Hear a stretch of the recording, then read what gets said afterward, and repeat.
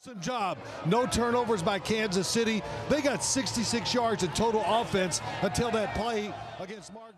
Taylor Swift is thrilled for her boyfriend Travis Kelce, who is heading to the Super Bowl after the Kansas City Chiefs defeated the Baltimore Ravens 17-10 in the AFC Championship on Sunday. Taylor went to congratulate her lover on the football field at M&T Bank Stadium. The 12-time Grammy winner was seen kissing and hugging her lover after their thrilling victory. Since September, I just wanted to make sure it knew it wasn't mutual. I don't hate you guys like you hate us. It's all love, baby. They don't hate us. I was, I was, with them. Taylor has regularly attended Travis Kelce games, and her support of Chiefs Kingdom has won over a lot of fans. When Travis wore Taylor Swift's iconic heart-shaped hands during the game last week, Swifties went crazy, especially since it seemed like he pointed to the sweep where she was seated. While it wasn't particularly romantic or even meant for Taylor, NFL player Travis Kelce clarified that he was sending a positive message on a recent episode of his popular podcast New Heights with his brother Jason. The brothers also revealed on the latest podcast that Taylor had not met Jason until that particular game when they gathered to support Travis Kelce and the Chiefs. After Taylor Swift's victory in his most recent NFL game, Kelce and she shared a kiss. Following historic victory over the Ravens, the Kansas City Chiefs advanced to the Super Bowl. Following the Chiefs' victory, Kelce and Taylor kissed out there on the field. After Kelce's great victory, this scene went viral and many people enjoyed seeing them celebrate and kiss.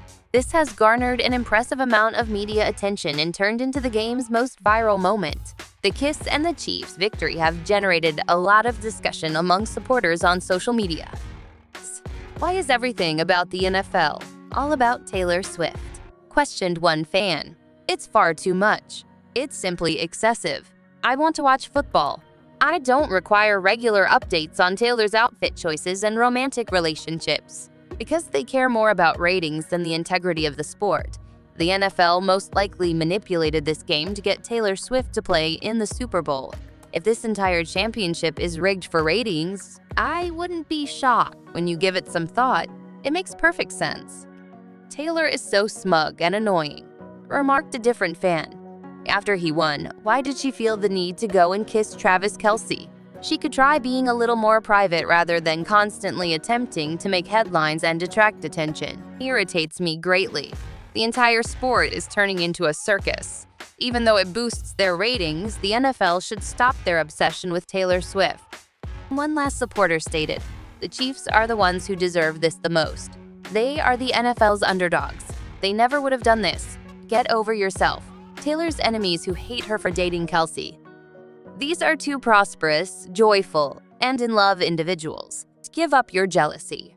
Regarding the comment section of this video, did you enjoy the kiss? Please remember to subscribe for daily news updates on your favorite celebrities and give the video thumbs up before you leave. Thanks for watching Pop Gossip.